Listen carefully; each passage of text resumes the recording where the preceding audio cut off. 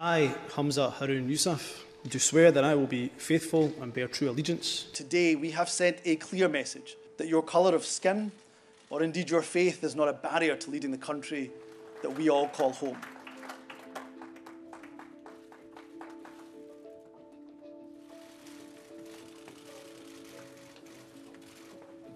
Humza Yousaf, Glasgow Pollok.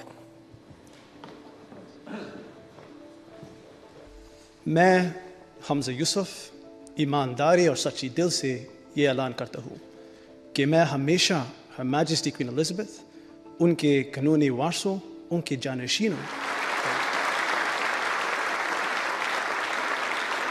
Almost every trade union in this country headed by people who are white. In the Scottish Government, every Director General is white. Every chair of every public body is white.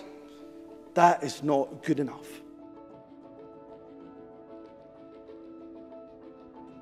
Could not be ignored. It wasn't just uh, the SNP, it was a number of parties that were pushing for it.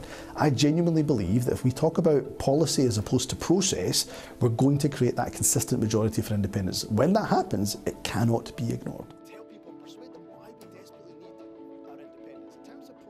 You're right. I've said quite publicly, uh, I'm not wedded to using the next general election as a de facto referendum. I want to have a really honest, engaging discussion with our membership.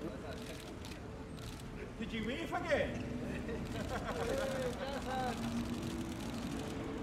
What's your view? What would you do? My view is we cannot cave in to the UK government vetoing legislation passed by the Scottish Parliament. If we cave in, we set the most dangerous precedent in the history of devolution, which is that we will lay down and allow the UK government at a whim to strike a red pen through any legislation they disagree with.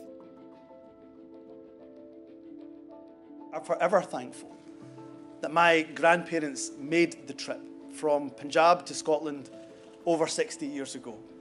As immigrants to this country who knew barely a word of English, they could not have imagined in their wildest dreams that their grandson would one day be on the cusp of being the next First Minister of Scotland.